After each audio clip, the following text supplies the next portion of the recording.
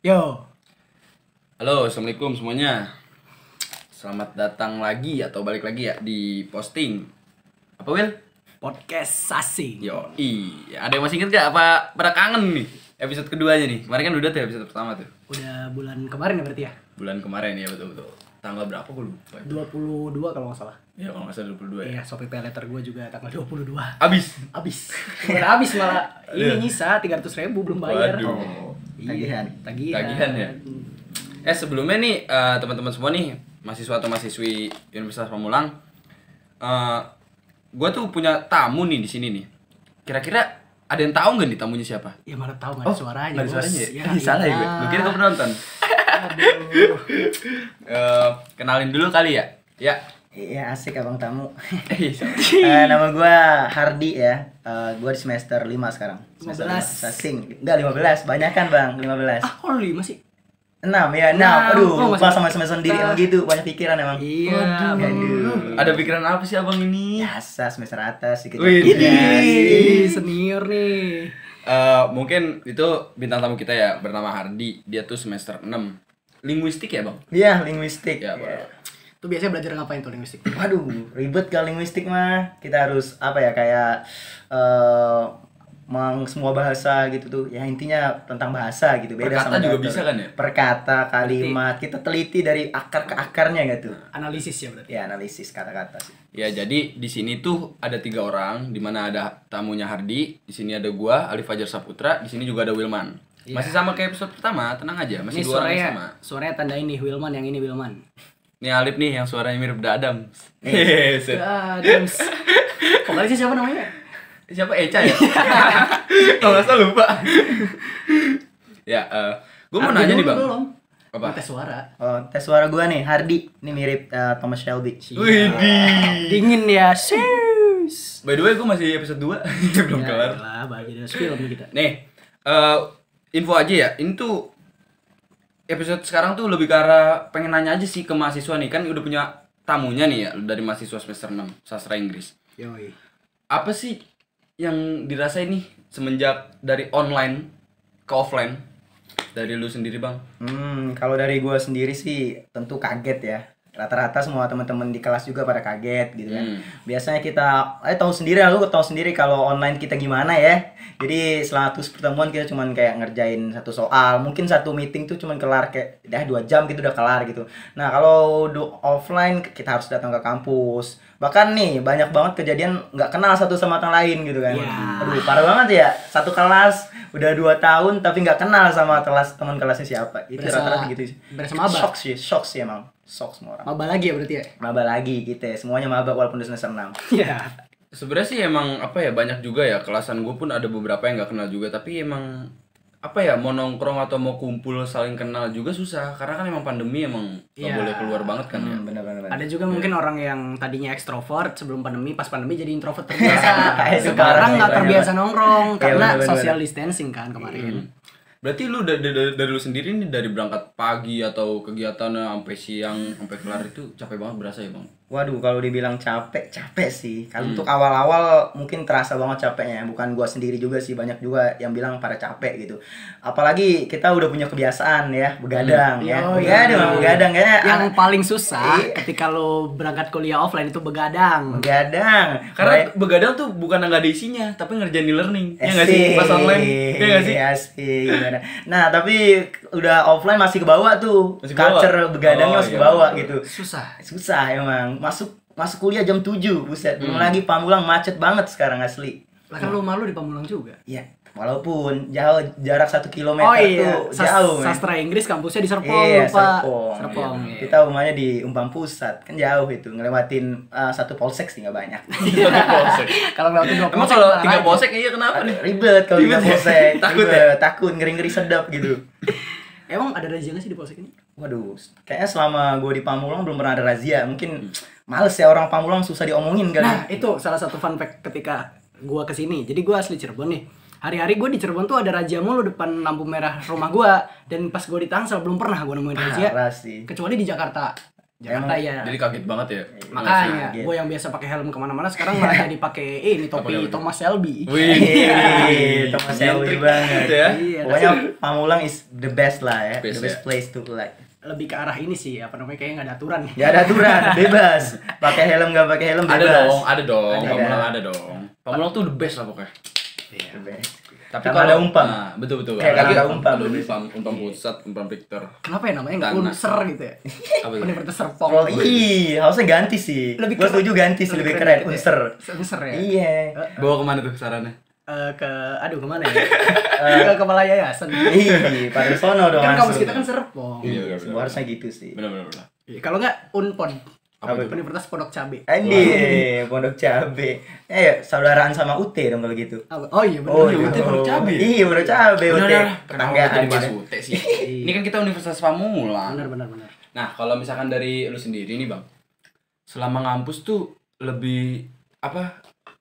Lu kan pernah nih sebelumnya ngerasain offline ya. Karena lu kan semester 6. Di mana semester 1 sama 2 itu kalau nggak salah lu belum ngerasain pandemi ya. Oh, benar benar. Nah, Nggak jadi nah, ada nggak perbedaan di mana dari segi pembelajaran, kurikulum atau dari apa ya, segi suasananya lah. Sana. Dari Eh, perbedaan. mungkin kalau suasana pasti beda ya karena sebelum pandemi itu kan nggak ada masker kita nggak mengenal masker gitu ya Iya. mungkin kalau teman-teman yang kul kuliah angkatan gua pasti ngerasain semester 1 2 tuh offline gitu nggak ada namanya orang pakai masker maksudnya bebas banget ya kalau sekarang tuh masih udah beda banget tuh rata-rata orang pakai masker gitu Iya. walaupun menurut gua sekarang tuh masker udah jadi culture sih maksudnya bukan jadi culture Iya. sih maksudnya eh, bagian dari hidup gitu bagian dari badan gitu semua orang tuh pakai masker gitu sekarang tuh Setuju, Udah, setuju, itu the setuju. point aja Iya. nutupin muka lah. nutupin Iya. muka lah ya banyak, banyak sih yang Tapi- ketipu gitu Tapi gue setuju karena kadang tuh gue ke mana-mana kalau nggak bawa masker kayak ada yang lupa. Iya, Iya nggak sih? benar, gue setuju. Sa- Sampai- Kayak, apa ya? Mana masker? Eh, gue sampai ada di titik kayak sebenarnya masker kan sekarang udah boleh nih sama presiden ya. Ah, Maksudnya nggak pakai masker udah Hmm, boleh. Gue sekarang tuh kayak berasa kayak aib tau gak sih kalau nggak pakai masker? Iya. Gue berasa kayak orang yang terasingkan. Iya benar. Ah, Di jalan orang-orang pada iya. pakai masker gue udah kagak karena emang malas juga kan belinya udah Nah. dibolehin. Itu salah satu bedanya tuh. Kalau dulu kan yang pakai masker tuh, wah sakit lu, sakit lu. Iya, nggak kalau nggak- nih, jauhin, jauhin. Kalau nggak wibu. Wibu. Wibu. Parah banget lu, wibu. Iya, masker wibu biasanya. Iya, serius. Eh, Maskernya Tapi kalau- kalau sekarang yang nggak pakai masker diliatin satu satu kampus yang ngeliatin lu. Lu jalan Iya. udah kayak artis udah, udah kayak artis itu. lu pernah gak sih nggak Apalagi cantik ya? Ih. Waduh. Iya. Lu pernah gak sih kayak misalkan nggak pakai masker sampai dimusuhin teman-teman lu gitu? Di, iya parah. sih. Pernah sih, cuman kayak aneh aja ya kalau kita mikir kayak gitu ya. Lu nggak pakai masker nggak boleh main. Dari pola pikir sih. Ya, salah satu satu lagi sih menurut gua. Batuk aja tuh sebagai kan aib gitu. Dulu Iya, batuk iya. yang batuk bersin Iya. bersin. Waduh, gua, gua batuk nih. Iya, Jadi kan. harus tutup-tutupin dulu nih, tahan-tahan nih. Buset. Nahan batuk itu sama kayak nahan kentut nih. Iya, Bener. beneran kayak ini lo pernah gak sih kayak di kampung-kampung misalkan ada orang yang apa namanya hamil duluan gitu Iya. udah berasa kayak aib banget kalau batuk Iya bener. tutup tutupin Ada sih banyak sih yang udah berubah banyak banget sih menurut gua. Banyak banget ya? Banyak sih. Orang-orangnya juga berubah. Banyak sih dari dulu kelas 30 sekarang tinggal 20. Itu 20 kelas. Waduh, parah banget. Wah, kelas kelas gua tinggal lu 20 sih. Mungkin Battle yang lain juga sih. battle royale pasti Battle Hmm, Royale. Royale. iya Nah, karena ini transisi juga ya da- da- da- dari online ke offline ya. Hmm. Ada nggak sih kegiatan kampus yang lu kangenin selama lu online ini? Aduh, kegiatan kampus yang paling gue kangen paling eh, karena gue tuh hobinya futsal, futsal salah satunya. Hampir 2 tahun gue apa ya hampir sama sekali nggak main futsal gitu. Karena nggak susah banget buat ngajakin teman-teman futsal susah. Karena kan pada rumah aja pada jauh ataupun yang rantau mereka balik kampung. Dan kedua mungkin karena gue suka speaking eh, mungkin eh, sp- apa speaking club sih yang paling gue kangenin gitu ya karena itu sangat membantu banget gue untuk mengembangin bahasa Inggris gue sih speaking club tuh yang kemarin kita jelasin ya Iya. jadi di Pokoknya podcast pertama ya speaking club sama futsal itu dari masing-masing guys dan boleh banget nih kalau misalkan mau ikut eh, mahasiswa atau mahasiswi sastra Inggris nanti bakal di-share pamfletnya dan Di- biasanya tuh sebulan selalu ada kegiatannya gitu. Iya, dua kali sebulan lah kalau speaking club. Kalau futsal apa? Sebelas? Kalau Seminggu, seminggu futsal sekali. seminggu sekali. Seminggu Oh, sekali bukan kita ada Seminggu sekali ya. Sebelas apa tuh? Sebelas. Mau apa? Sebelas kali sebulan. Ih, Kan kita sehatnya terlalu sehat. terlalu sehat. Eh, ini juga ada program. siang, sore. Ta- Iya. Tapi kalau 11 kali lebih berat ke duit sih. Iya, Iya, berat ke duit, lapangan mahal deh. Lapangan mahal sekarang semenjak mungkin per- corona juga kali Iya. kebutuhan jadi naik Kebutuhan ya. naik. Benar, Benar, benar, benar, benar. Semuanya naik lah ekonomi, jadi naik semua kebutuhan. Tapi kalau boleh tahu nih bang, lu waktu selama online dan ngerjain e-learning doang gitu, di rumah atau di kosan lu itu ada kegiatan nggak? Aduh, kalau kegiatan karena jujur kalau kerja gua nggak kerja ya, tapi gua mau handle bisnis sih, bukan bisnis kayak ya jualan kecil-kecilan gitu ya. Oke. Jualan kecil-kecilan mungkin. Boleh nih promosi. Waduh, promosi enak boleh. banget ini gratis. Jualan Aduh, leker. kalau waduh bukan jualan leker, Bang. Ini jualan thrifting ini. Kalau teman-teman yang anak fashionable pasti Wih, paham lah ya sih. Ya, yang sering main pas pasar Senen, bikin up story-story lah nih, Betul, betul, betul, nge-trip nih gitu. Mungkin tahu thrifting lah atau barang second brand gitu. Ya, gitu ya. Itu yang gue jual juga sih. Jadi selain kuliah, ngajarin learning, gue juga kalau biasanya nge-live di TikTok ya jual second brand gitu. Iya, iya. Berarti ini Wing, kita ngundang tamu mahasiswa yang bukan berarti mahasiswa doang. Iya. Kewirausahaan juga jalan. Benar. Itu jarang-jarang tuh amin, mahasiswa amin, yang bisa kayak gitu. Rata-rata mahasiswa kan cuma kuliah, ngopi. Ngopi. Kuliah ngopi, kuliah Kuliah ngopi. ngopi. Itu hari-hari kagak ada kerjaan Itu ya. Kagak kagak makan berarti ya? Iya, Kagak makan. makan ya. Kopi dulu yang penting. Dapat dapat duit kagak, duit abis iya. Aduh. Boleh lah kalau misalkan mahasiswa yang nanti kita bahas mungkin yang kewirausahaan, oke? Eh, ini masih seputar kampus saya sih. Kalau misalkan dari segi apa namanya fasilitas kampus yang ada nih, Hmm. ada nggak sih ke keresahan atau yang lu alami atau lu udah bahagia nih karena kampus Victor kan udah bagus juga nih Oh, ya? iya, iya. Ada nggak gitu? Kalau kalau fasilitas oh ya ya Aman gimana ya? ya? Fasilitas semua menurut gua sih oke sih karena Kak Victor kan baru sekitar empat tahunan ya mungkin Hmm, hmm. empat tahun lima tahun lah gitu menurut gua wow banget sih. Kapan lagi? Coba lu bayar dua ratus ribu. Coba Tanpa ada uang- lift ada eskalator. aduh tanpa uang bangunan. Iya saya umpam the best lah. Kalau masalah fasilitas udah paling oke sih menurut gua sih. Udah eh, nyenggol nyenggol dikit binus lah sih. Wih, Iya. jadi jujur anak anak umpam nggak minder lagi kalau mau minder instan story lagi, udah nggak minder lagi bener, men. bener, bener. Iya. Walaupun nama orang kenapa juga kita tinggal kasih tahu instastory kita ya. Iya, udah. Iya. kita ditunjukin. Eh, Gua ini gua ada sedikit fun fact tentang ini sampai keluarga gua nih ya Ah. pengen nyamperin gua kan gua dari Cirebon nih keluarga gua pengen nyamperin gua buat ngecek kampus doang katanya dikira kampusnya abal-abal karena murah Waduh. belum tahu. Tapi udah dua ya. jam belum kalau boleh tahu. udah tapi nanti katanya wisuda Wisuda. iya Oh, wisuda nggak tahu kapan lagi ya. iya sekarang dia sih. masih Target udah. eh, sembilan lah Oh, mahasiswa sembilan. Tapi biasanya dari 9 10 11 12. Iya, itu. Terusan gitu. Sih ada senior Saking cintanya gitu. umpam ya Kak, keterusan tuh sampai 12. gue kemarin pernah ketemu orang di kantin Cemara katanya eh, beneran emang dia masih betah ngampus Waduh, keren. Ada orang kayak gitu ya, Beneran. setia itu. Dia Jangan ke cewek berarti ya. Ke Iya. kampus aja setia gitu orang. iya ya Langka, itu eh, dia nyari ceweknya di kampus jadi mungkin betah ya Atau mungkin emang bener apa ya? Dia tuh sebenarnya bukan nyari cewek, Bang. Nugas. Waduh, nugas. emang Nugasnya- jarang sih lagi gitu. Nugasnya kelompok dan Iya. kelompoknya cewek, Cewek semua. semua. Entah ya, betul. Tapi kan tujuannya tugas dong. nugas Ya, nggak Tugas dong. Iya, ceweknya jadi- bonus ya Cewek bonus sih, bonus. Nah, itu benar bonus. Emang menurut gue emang the best sih kampus Umpam. Ya gue dari Bengkulu ya dari Sumatera. Mungkin teman-teman yang belum tahu Bengkulu itu salah satu provinsi yang ada di Sumatera. Itu kalau orang taunya kul gue kuliah di Jakarta gitu. Jadi sekarang tuh kalau up- upload story itu orang Harus tuh pada respect lah ya. Harus bagus Ya, ya? harus bagus gitu. Emang Victor tuh dong udah apa ya Instagramable banget untuk Widih. itu di gila sih. Bangga lah kita lah. Bangga lah gitu ya. Victor. eh tapi ngomongin fasilitas gue ada sedikit keresahan sih sebenarnya kalau dari gue ya ini masalah infokus sih simpel banget ya gue iya sih. selama ini tuh masuk kuliah nih pagi nih gue eh, ngambilin fokus nih disuruh sama dosen gue tahu kan kalau misalkan kampus lain kan ada infokus per kelas satu lah ya Hmm. kalau kita kan harus ngambil lah di salah satu ruang yang namanya ruang administrasi Betul. itu maksudnya dari gedung gua gedung B ke gedung A itu jauh belum lagi turun lantai dari 5 sampai 1 pas udah nyampe sono infokusnya habis itu Nah. sih yang menurut gue jadi keresahan ya karena kita juga nggak bisa presentasi tuh Iya. Sama sih gue juga di kelas gue kemarin kayaknya baru dua minggu yang lalu deh. Kan kita kampusnya masuk setengah delapan tuh. Hmm. Nah pas udah ke sana bukan habis, Apa ya, belum buka. Iya. Belum buka ternyata belum itu buka.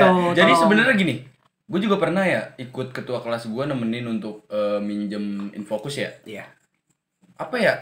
Kadang kita datang kecepatan juga belum buka. iya Dan kalau sedikit telat kehabisan. Oh, iya serba itu salah juga serba gitu. salah emang yang paling bener tuh punya orang dalam ruang administrasi Wah, bener tuh ya. Bener. itu minta kontaknya aja kali ya. Boleh itu Iya, boleh. boleh, Orang boleh, da- boleh. Iya, di mana-mana boleh. tuh butuh orang dalam sih emang. Iya. Orang dalam tuh the best pokoknya. lo kan kalau misalkan buka HP di kelas biasanya order Shopee Food itu mah kagak order infokus Waduh. Tapi ngomong-ngomongin fokus, infokus langkanya udah sama kayak minyak goreng ya. Bener. Iya. Minyak goreng naik ya? Aduh, naik. Naik. Gak turun ini harganya. aduh minyak goreng ya tapi ntar kita jadi anak ekonomi nih Ide, Iya, enggak apa-apa, iya. nyerempet dikit lah. kalau nyerempet dikit ya. masa kita anak ek- apa sastra bahas eh, analisis minyak goreng Iya, kan ngomongin juga dong. iya Nah, ngebahas sastra juga nih ya. dari lu pribadi bang sering gak sih baca puisi atau buat puisi atau baca-baca novel lah di rumah gitu Eh, jujur ya, gue nggak mau gimmick-gimmick atau gimana ya. Iya. Maksudnya jujur aja gitu. Nggak kalau untuk baca puisi, novel gitu, I dislike it gitu. Tapi kalau untuk dengar gitu ya, orang dengar baca puisi atau dengar orang cerita-cerita cerita novel gitu, lebih kayak spoiler itu gue suka sih. Tapi kalau untuk baca kayak ya agak sus agak kurang sih belum terbiasa. Belum Mungkin nanti terbiasa. suatu saat akan biasain sih. karena gini bang gue juga di gue ini dari gue pribadi ya gue kadang masih jarang juga kalau buat baca-baca novel baca-baca puisi gitu tapi kalau sekalinya gue udah baca dan gue suka itu bakal gue terusin sampai habis Oh iya benar. kalau gue sih. gitu sih bang karena gue tuh kalau baca baca buku tapi lebih tertarik ke yang berbau dengan bisnis atau berbau dengan self oh motivation gitu. jadi Oh, iya. masukan juga ya buat lu ya jadi kayak Iya. wah nemu ilmu baru nih Iya. Dapat lah pokoknya. Dapet sesuai dengan fashion sih menurut gue. Nah, untuk apa ya? Kalau dari lu pribadi nih, Bang. Lu kan sebagai mahasiswa yang berwirausaha juga gitu ya. Walaupun ya untungnya mah ada, cuman kita nggak bisa nyebut ada terus gitu ya. Iya. Wih, benar. hati-hati gede dia mah. Oh, dia gede juga nih. Ya, iyalah omsetnya 12 juta. Aduh, sebulan. berlebihan. Aduh. Ya, amin, Bener amin. nih, Bang? Bener aminin, aminin, Aminin ya, amin. aminin. Dia ke ya. kampus aja pakai Supra. Ih, Eh, Supra mahal. Supra mobil. Supra X. Oh, kira Supra mobil. itu mah super galon. Gue punya komunitasnya, komunitasnya itu. Udah galon ya. Maksudnya apa sih step buat ngelangkah ke sana gitu? Dan kalau boleh tahu eh kalau nggak salah juga lu ini ya diundang yang di Sastrapreneur kemarin ya acara Iya. Fakultas Sastra Itu ya? alhamdulillah banget nih uh, ada Ceritain, dosen ceritain. Iya, juga Bang. dan juga teman-teman gue tuh uh, sedikit percaya gitu kan. Hmm. Ya itu menurut gue sih sebagai motivasi juga sih berdua ber- gua untuk gue jadi lebih baik lagi gitu. Eh? Emang agak belibet kadang-kadang ya. Iya, iya. Iya, gue susah sih Ya, kadang-kadang. lanjut, lanjut. Lanjut lanjut, Bang. Eh, jadi gitu sih. Eh, kalau untuk usaha sebenarnya lebih ke passion sih teman-teman. Karena kan nggak semua orang suka usaha ya. Benar, Karena menurut gua usaha tuh challenging sih. Iya. Ya banyak banget tantangannya. Makanya kan orang tuh beda-beda. Ada yang suka kerja, ada yang suka cuman kayak. ML, ada yang suka cewek. Nongkrong lah, kasar. kita nggak nggak bisa itu sih. Tim orang punya passionnya masing-masing. Tapi kalau Setuju. emang I do because I like it gitu. Gua ngelakuin itu karena gua suka aja gitu. I, I like challenging gitu I see, I see. itu sih menurut gua karena usaha bagi gua tuh penting karena untuk menjadi orang kaya maksudnya ya susah sih kalau kita nggak usaha gitu ya Betul. Benar. Kecuali lu anaknya Raffi Ahmad. iya Siapa namanya? So- Rafathar. iya atau enggak anak itu sih anak Baim Wong ya sih Ah, Siapa kalau nama Yung? ah itu itu si Tiger Wong namanya Tiger Wong gila sih Dia tahu dong. iya Tiger Wong pemain tinju kan serius Tiger Wong kagak. Emang Tiger Wong namanya Tiger Wong pemain tinju. Di di apaan sih? namanya Tiger Wong Cek, Wong. cek Beneran, cek nama anak macam. Apa perlu gue buka